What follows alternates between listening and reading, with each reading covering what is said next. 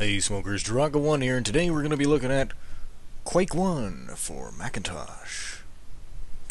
So this isn't going to be a full review of Quake 1 in its entirety, but simply a look at how the Macsoft port runs on my Power Mac G3, which Steve Jobs claimed in 1999 would be able to run at a smooth 60 frames per second.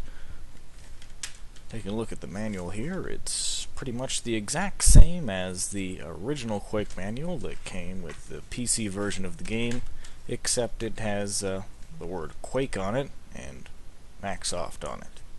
It's pretty much the exact same manual, probably with more Macintosh related things in it. I haven't actually looked through the whole thing. Of course, we have the back, which is somewhat distinct from the back of the PC version, which has slightly different art. But the front is about the same. So in an effort to be more old school than is probably necessary, I'm going to be playing Quake 1 on an Apple Desktop Bus keyboard and mouse.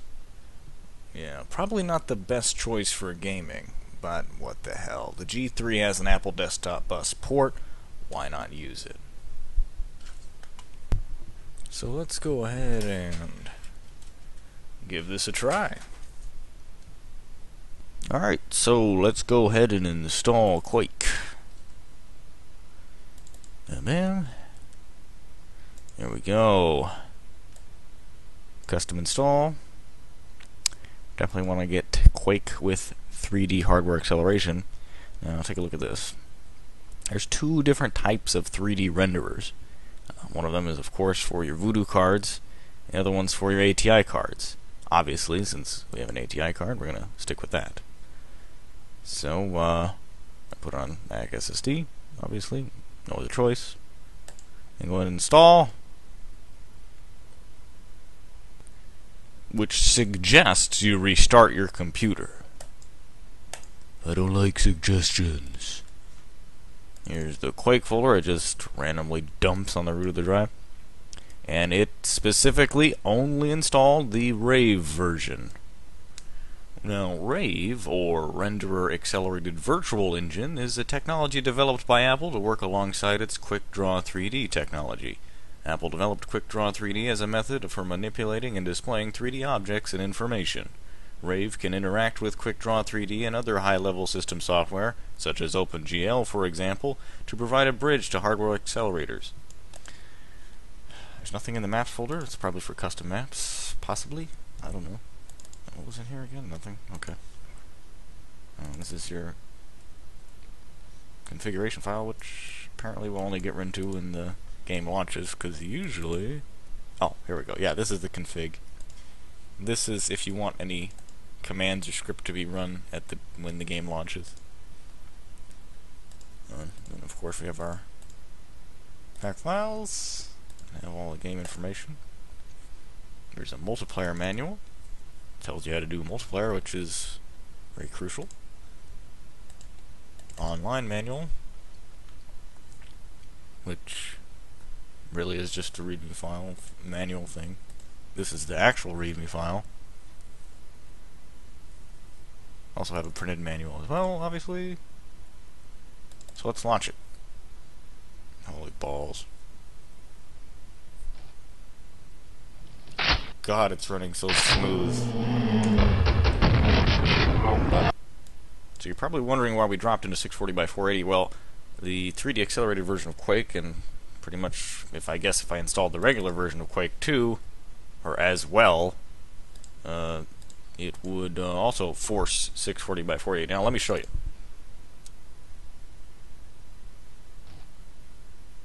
Okay, working. No music. I don't know why. Got the CD in the frickin' drive. So CD game volume. This is this is the options menu. It's actually a Mac GUI.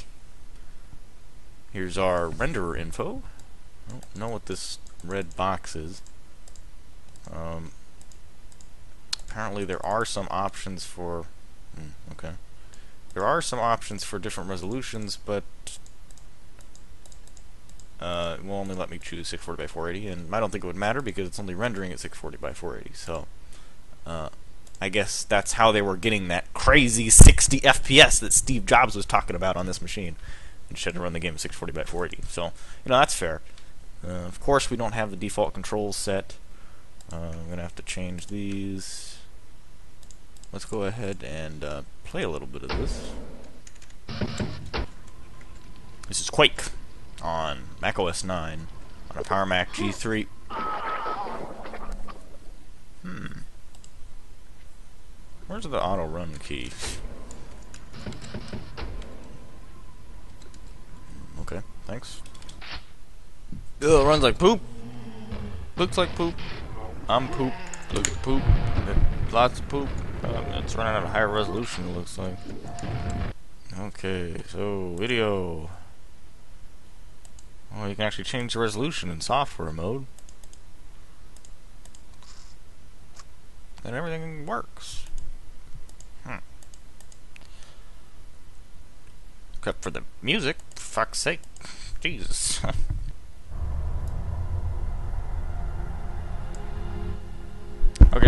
so... Uh, hmm. Quake actually changes the volume of CD playback.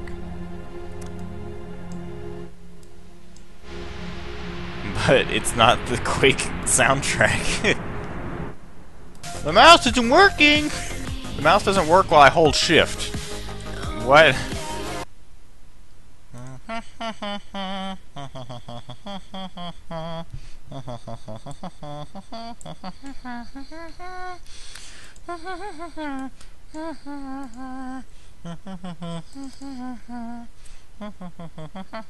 Why are you in 640 by 480, Quake?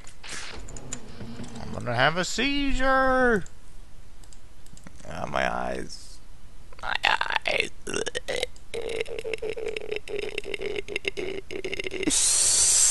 This, this is bullshit. Ooh. Huh? Third time's a charm. Uh. Okay. So this is not really running in 720p. This is running in 800 by 600, probably.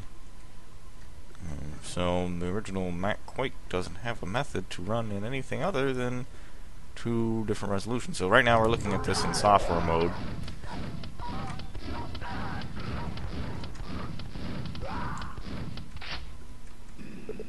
Door. The door. My quad damage is running out. Oh yeah.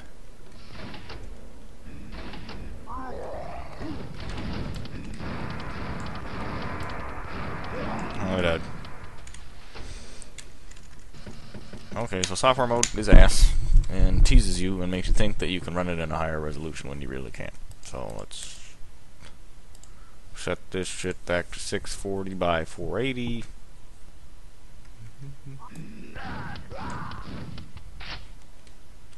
Okay, so this is Quake with the Rave renderer. And uh, from a little bit of testing, I found out that you cannot run this game in anything other than 640 by 480. And also, when you're using an Apple desktop bus, mouse, and keyboard, you can't press W, Shift, and click the mouse at the same time, leading to many untimely deaths. I had to learn this the hard way, but now I can pretty effectively play this game on Nightmare mode without taking too much damage. I had to just get used to the setup a little bit. Now this game does actually look like it's hitting the 60 FPS mark every once in a while. Uh, it's definitely smoother than software mode, uh, without a doubt. Uh, I really don't know why the CD audio isn't working. Uh, as already demonstrated, uh, I was able to play back a CD while playing the game, and I can even change the volume of the CD, but for some reason the CD playback isn't working, so that's a bit of a disappointment, and one of the best reasons to actually have the Quake CD is so you can actually get that Nine Inch Nails, you know what I'm saying? The Trent Reznor. The whole... Oh, shit. So yeah, it is a definitely a playable version of Quake, and I think it's way better than playing Quake on DOS. Not as good as playing the Dark Places version of Quake. That that really is the best way to play it, like hands down.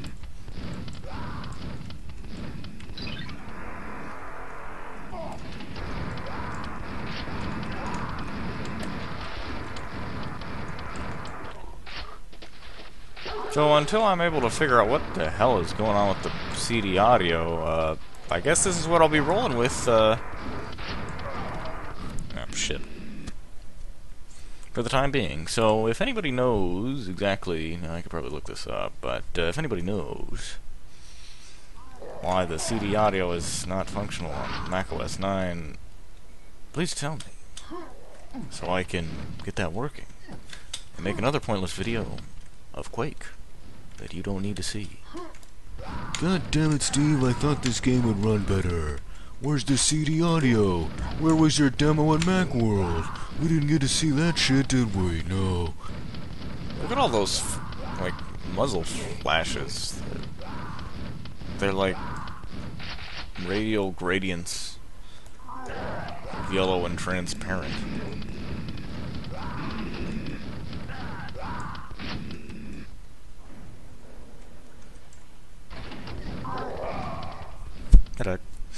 Okay, well I'm done with this game. Um, for for now. Alright, so that was the original Quake on the Power Mac G3. The computer that Steve Jobs says could run this game at 60 FPS, which it did for, you know, a couple moments in there.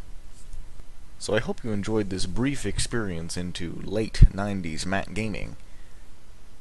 This is Druaga1, signing off. Thank you.